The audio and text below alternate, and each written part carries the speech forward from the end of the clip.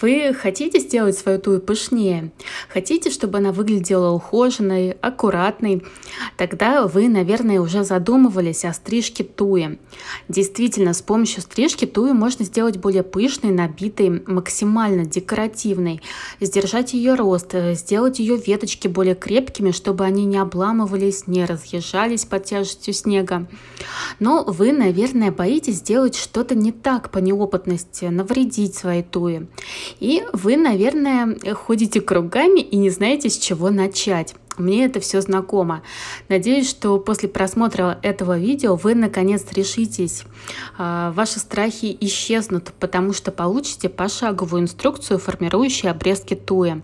Основные правила обрезки туи, когда, как и что именно делать только нужную информацию и советы по формированию кроны. А также в конце видео я отвечу на самые частые вопросы, которые возникают э, в связи со стрижкой, обрезкой туй.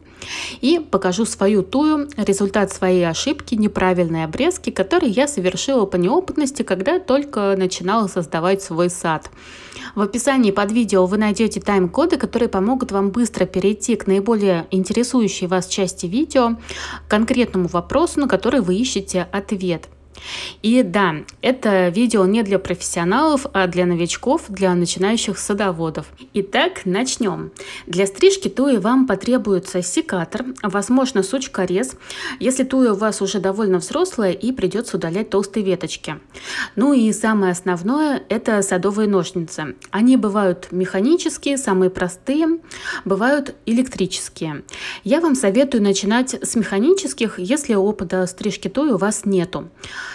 Так э, будет меньше шансов отстричь больше, чем нужно. Инструменты должны быть хорошо наточенными, чтобы они делали ровный срез, а не заминали ткани туя. Это даст дереву быстрее восстановиться после стрижки. А, заживить ровный срез туя будет гораздо проще и быстрее.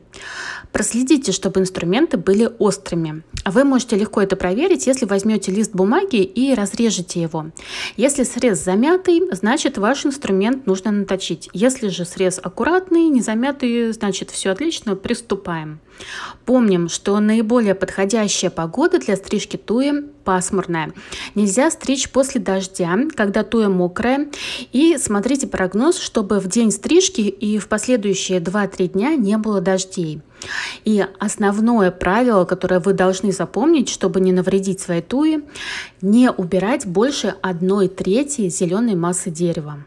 Итак, пошаговая инструкция, формирующая обрезки туи. Первый шаг. Осмотрите тую. Если вы видите признаки болезни, то отложите обрезку, сначала подлечите дерево.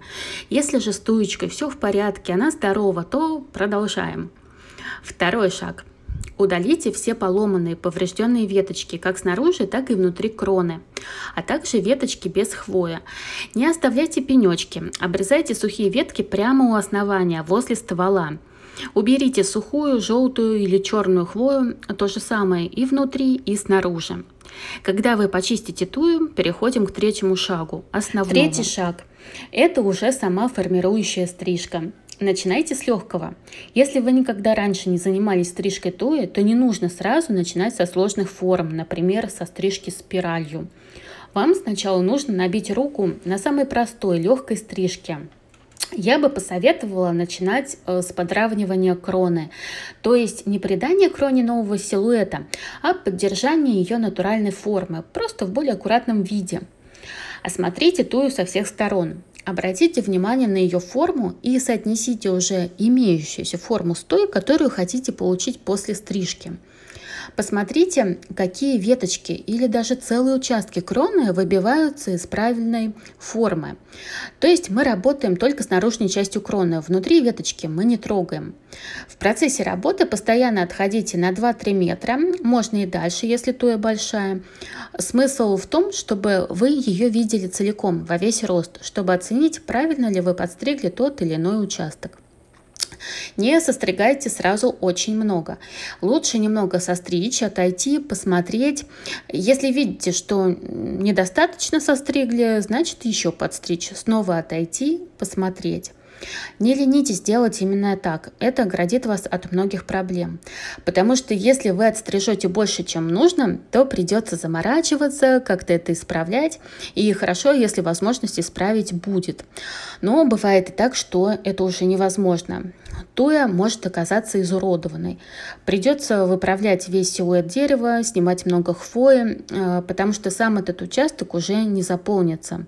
Веточки здесь будут отрастать, но на нормальных участках, на которых не надо ничего исправлять, они также будут отрастать, и картина не поменяется в целом. У меня есть бедная Туя, как раз таки она до сих пор напоминает мне о моей ошибке. Она была первой, именно с нее я начинала осваивать стрижку. Крона у нее была очень редкой, я решила начать ее загущать. А, постригла тую по всему периметру, но именно в этом месте она была наиболее лысенькой, и по неопытности я решила именно в этом месте снять побольше, чтобы здесь она получше загустилась. Она, конечно, загустилась, но, как вы видите, до сих пор в этом месте располагается самый узкий участок. Ее можно выровнять, срезать части над ней и под ней, как бы выровняв их по этому узкому участку. Но я пока что не решаюсь, потому что она будет уж очень выделяться своим стройным силуэтом из рядом растущих туй. Они все толстенькие, а она будет узенькой, так что такая вот была моя ошибка. Но не ошибается тот, кто ничего не делает. Ошибаться это нормально. Мы учимся на своих ошибках. Но от себя я бы вам посоветовала учиться стрижке на тех туях, которые растут у вас не на видном месте, не на парадном, а, чтобы если вдруг вы, так же как и я, случайно что-то не так нахимичите, это не так сильно бросалось в глаза. Если у вас нет цели придать туе правильную, аккуратную форму, а вы просто хотите, чтобы она стала гуще, то укоротите каждую веточку, находящуюся внутри кроны и снаружи, на одну третью. Вскоре возле места среза проснется много почек, которые станут веточками. В последующем каждую из них вы также укоротите на одну третью, что в свою очередь снова простимулирует образование новых почек, которые станут веточками. Каждую из них вы также укоротите на одну третью, ну и так далее, пока не получите такую пушистую набитую крону, которую вы всегда хотели. Вы можете скомбинировать оба этих варианта, чтобы туя была и пышной, и имела правильную аккуратную форму. То есть э, подрезать веточки внутри туи, выровнять силуэт и потом пройтись по внешним веткам, отрезать одну третью каждой веточки. Но в погоне за пышностью помните о том, что слишком густая крона это тоже нехорошо для туи, потому что в крону должны попадать солнечные лучи. Она должна обязательно проветриваться, иначе там будет легко обустроиться каким-то вредителям, болячкам. Так что если у вашей туи крона очень загущена, то ее нужно проредить, удалить несколько веточек внутри кроны.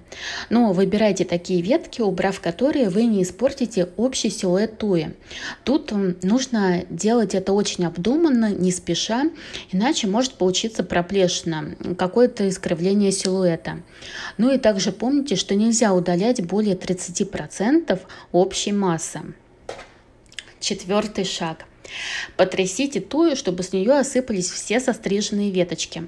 Если где нужно подправить ветки, подправьте. Пятый шаг.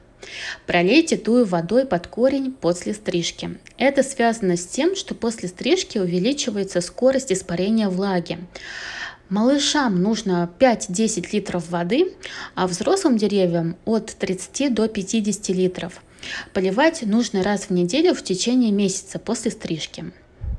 Теперь давайте разберем самые частые вопросы об обрезке туя. Срезать верхушку или нет? На этот вопрос нет одной единственной правильной рекомендации. Все зависит от целей, которые вы преследуете. Если вам нужно, чтобы туя быстрее набирала высоту, для вас это самая важная цель, то макушку не трогайте. Точнее, не трогайте проводничок. А, ветка-проводник – это самая верхняя веточка, которая является продолжением ствола, то есть это будущий ствол дерева. Веточки, которые находятся рядом с проводником, их вы можете подстричь, а также подстричь бока туя а центральный проводник оставить. Тем самым вы не затормозите ее рост, а наоборот, даже ускорите. А, в таком случае туя будет более высокой, при этом более узкой, то есть все силы пойдут в рост. Если же вам нужно сдержать тую в росте или сделать тую более пышной и широкой, то верхушку нужно будет состричь. Тогда будут активнее развиваться боковые ветки, туя начнет лучше куститься и станет пышнее. А также верхушку нужно стричь, чтобы со временем туя не оголяла низ. Если вам важно, чтобы внизу а, оставалась хвоя, туя была пышной внизу, то макушечку состригайте. Можно выбрать золотую середину, то есть не состригать верхушку целиком, а убирать лишь одну третью молодого прироста и постричь туи бока. Таким образом, вы и рост не сильно тормознете и простимулируете нарастание объема. Если же ваша туя выросла до предельной для вас высоты, и вы не хотите, чтобы она была выше, то просто каждый год убирайте верхушку. И чтобы она не имела неестественный вид, подрезайте верхние веточки в форме треугольника, ну или более закругленной формы, как вам нравится. Главное, чтобы это все выглядело естественно. Ну, опять-таки, если вам нужна эта естественность и природная форма, тут уже все зависит только от вас, от вашего вкуса. Нужно ли обрабатывать срезы? Тут мнения расходятся. Кто-то обрабатывает более крупные срезы садовым варом, кто-то нет. Я отношусь к второй категории, объясню почему. Вообще, зачем обрабатывается срез? Потому что ткани растения при обрезке, естественно, повреждаются. И, конечно, каким-то болячкам легче проникнуть э, через рану, там, где ветка не защищена, сосуды растения открыты. Но природа заложила защитные механизмы. Если бы их не было, то растения при каких-то повреждениях не могли выжить. Туя при повреждении ствола или ветки начинает выделять смолу, которая защищает срез. И садовый вар может э, даже помешать естественному заживлению, поэтому я со срезами ничего не делаю и ничем их не обрабатываю. Единственное, срез должен быть ровным, не замятым, тогда туе будет проще его затянуть. Так что если я стригу электрическими ножницами и вижу, что где-то веточка обрезана некачественно, неровно, она замята, то я делаю новый срез острым секатором. Вот и все. Проблем не было. Главное стричь в сухую пасмурную погоду. Когда делать обрезку? Санитарную обрезку делают, как правило, весной и осенью. Иногда при необходимости повторяют летом, ну и осенью обязательно убираем пожелтевшую хвою внутри кроны. Ну и снаружи тоже, конечно. Удаляются высохшие веточки, поломанные снегом, каким-то образом поврежденные. А, четких сроков тут нет. Делаем по возможности, но обязательно делаем. Формирующая обрезка проводится с начала мая и до конца сентября. Это прямо смело. То есть в плюсовые температуры а, Закончить формирующую обрезку нужно приблизительно за 2-3 недели до наступления морозов. Как помочь туе восстановиться после обрезки?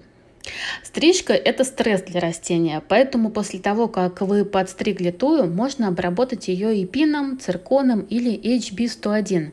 Эти препараты антистресс, они помогают растению прийти в себя быстрее. Ну и также пролейте тую водой, это тоже ей очень поможет.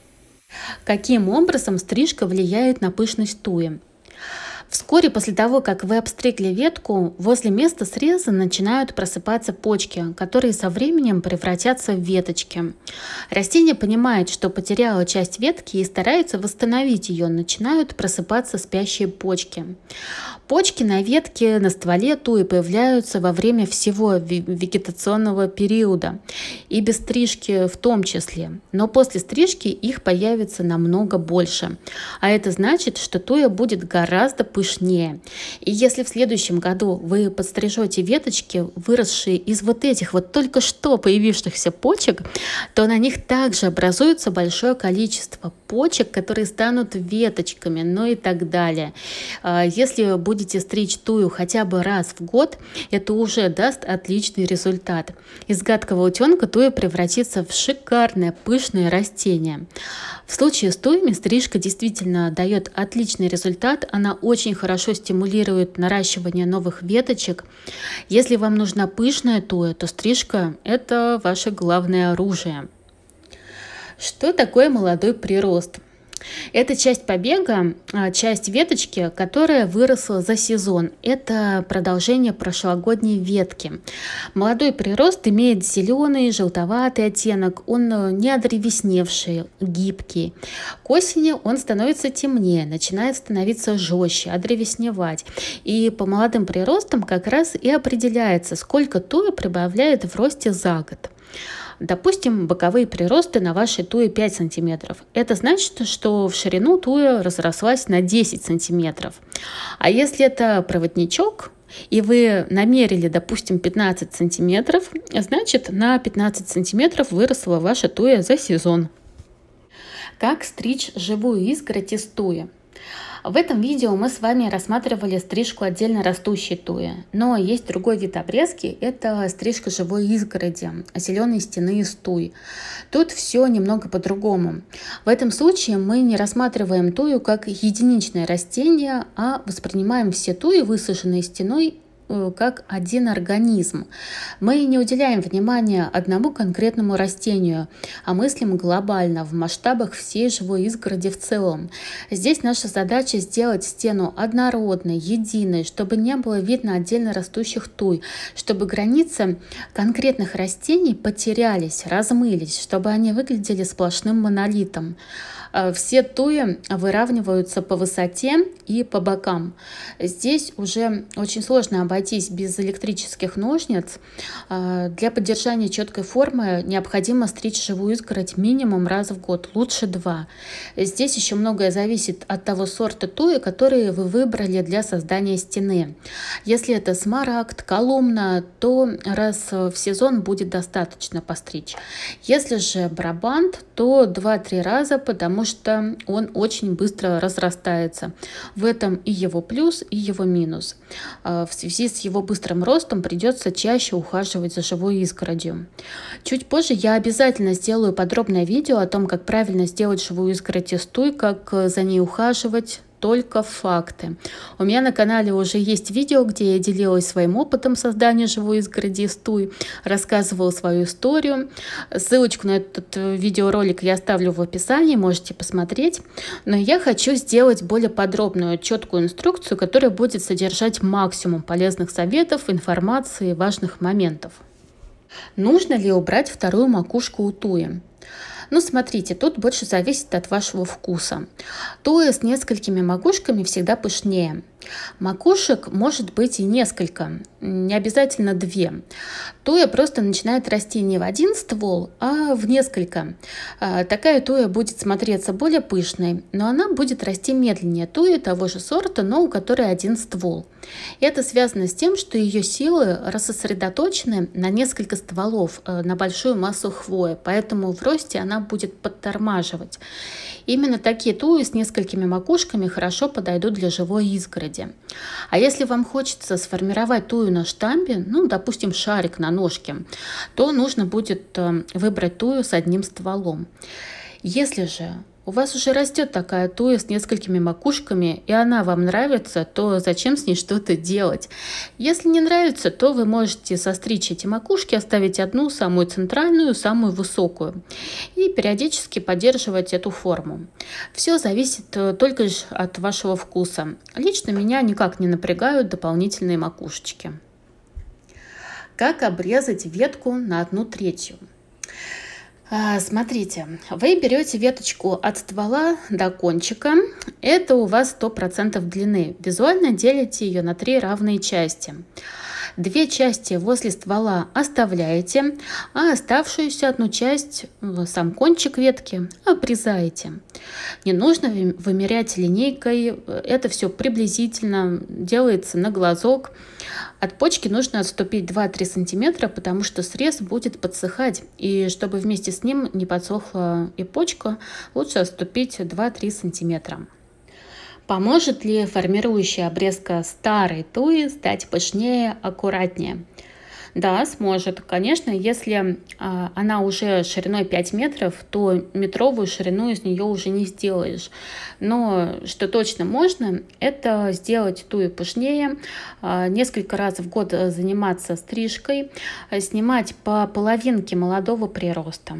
Если регулярно это делать, она обретет другой вид, будет пышной и аккуратной. Я надеюсь, что вам эта информация пригодится, поможет. Не бойтесь стричь туи, они очень хорошо отзываются на стрижку. Главное, не состригайте больше 30% зеленой массы. Из туи все будет в порядке. Но самое лучшее это стричь понемногу, но чаще и регулярно. И начинать стрижку на следующий год после посадки. Каждый год по чуть-чуть стричь э, всю туечку, формировать ее с детства. Так она не будет испытывать большого стресса из-за каких-то кардинальных обрезок. Благодаря обрезке она не только будет выглядеть декоративнее, но и у нее будут более прочные веточки за счет того, что они не будут слишком вытянутыми, будут более коротенькими, толстенькими, крепенькими, что поможет им не ломаться от снежных шапок, не разваливаться в разные стороны от снегопадов. Если у вас остались вопросы, что-то осталось непонятным, то пишите их внизу под этим видео в комментариях, я обязательно отвечу. И также делитесь своим опытом стрижки туй, положительным опытом и отрицательным тоже. До новых встреч в следующих видео. Я вас целую, обнимаю. Пока-пока.